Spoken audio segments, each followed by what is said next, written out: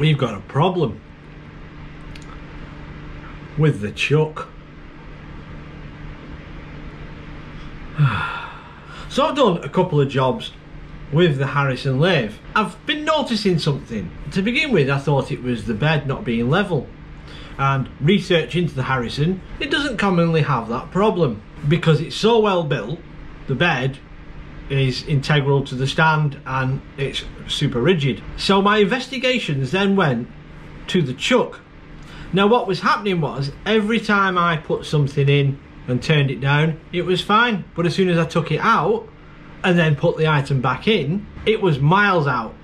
And it got to the point where I, you can't see it now, but I actually put a mark on a jaw and then I put a mark on the job to see if it was slightly out of sync. And it's not. And what I've discovered is the jaws are absolutely worn. Brilliant. Right, so I've got a bit of uh, precision ground 3 8 round bar. And I'm going to put this in the chuck and then we'll see.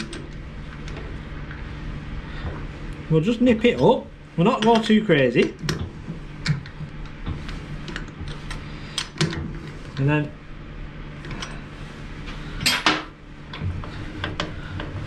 we shall put the DTI on. Right, so I know that it's it, it's probably glaring on the screen, but we're on the zero and then if I spin that so we've got two eight thousandths of an inch run out on that's precision ground let's see if we can and then if you look at that the needle is and I'm just lifting that up with my hands and we're getting what we on there? We're getting three thousandths of deflection on that.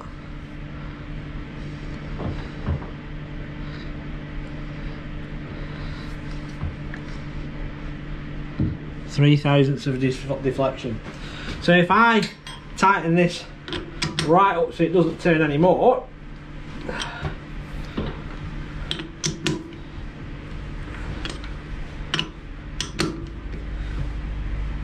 I can't move that anymore. We are then getting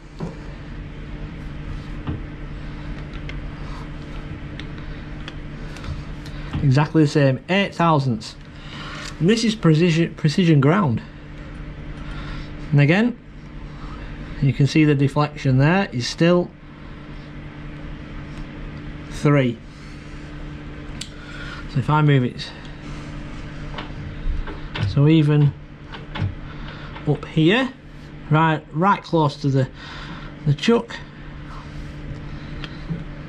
eight thousandths of an inch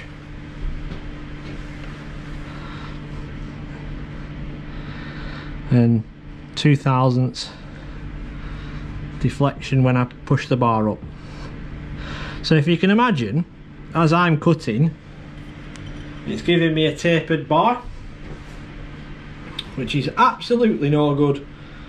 So what I'm going to do is I'm going to take this off and I'm going to put the four jaw chuck back on and see if that has worn jaws as well.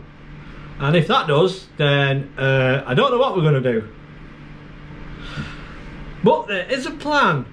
And the plan is to see whether this chuck is actually attached to a back plate, which it looks like it is.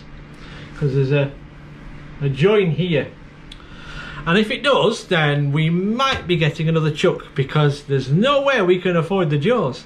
Especially over £300 plus VAT. For a set of jaws.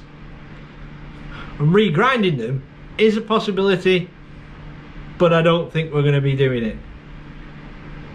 Because in the research that I've done for regrinding jaws, you have to have the jaws under tension and it just seems a whole lot of work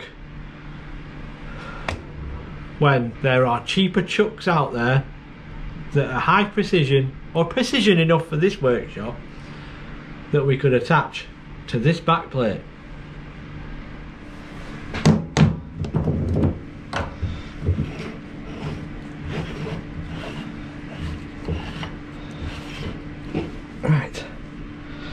So we'll take that off. Chuck that in the bin. I'll give this a clean and then we'll get the four jaw chuck on.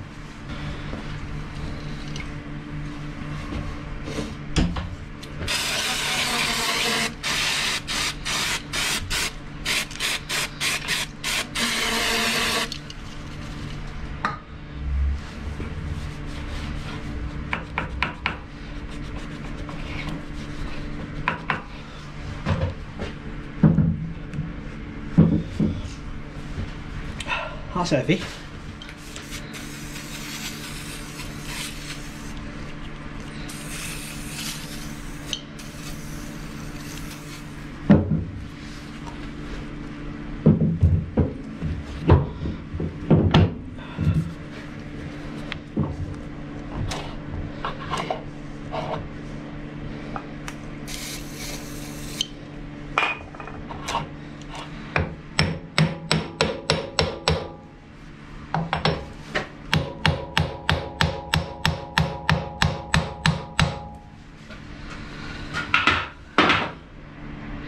Think what I'll do is I'll give it a quick clean.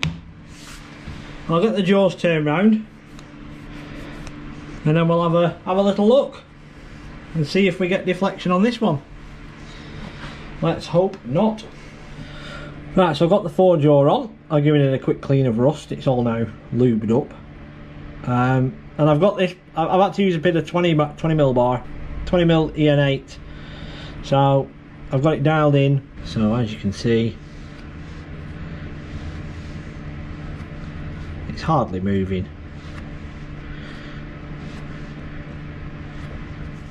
Obviously the bar is quite a long bar, so if I hold it on the end and spring it, you can just see the needle move. I don't know if that's coming up or even on the camera. It's not even half. Move to the next jaw.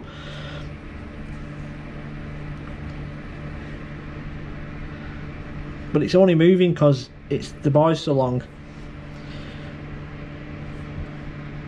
So it answers the question that the jaws on the three jaw are knackered. But at least we can carry on using that. we can use the four jaw. It's not it's not brilliant, but we can use the four jaw for now, do some work. And I'm quite impressed that I got that so close considering I've not set a four jaw chuck up for absolutely years. So that's good news, isn't it? Right, so we are on the bench. I've got the chuck on here and I'm going to take out the bolts at the back and we're going to see if this is on a back plate that we could possibly use for a new chuck which works out cheaper than a set of new jaws.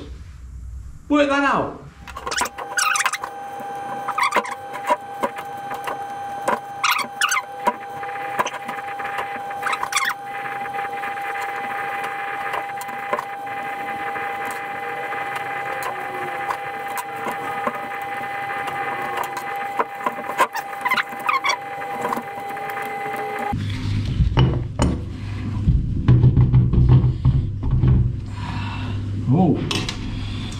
Okay, so I wasn't expecting it to be like this. I was expecting it to have a recess plate like that, uh, but none of this. So this is actually the back face of the chuck, and then inside we've got the internals. So we've got the scroll, the back of the scroll, obviously the gears which you use with the key go there and then obviously you've got the the jaws. You can just see them inside there that side. So unfortunately my plan is not going to work. I thought this would just be a back plate that we could use on another chuck. So we are going to have to come up with plan B or C or D. So, unfortunately, plan A hasn't gone to plan. I thought we'd be able to use that as a back plate and we can't. There's too much there to machine off and then there'd be too much sticking out to bolt another three jaw chuck on. So we have to go through the entire alphabet until we find a solution to get an operational three jaw chuck on the lathe that doesn't have any deflection or doesn't add to the deflection when we're cutting. So until next time, stay safe. Laters. There's only one word for this.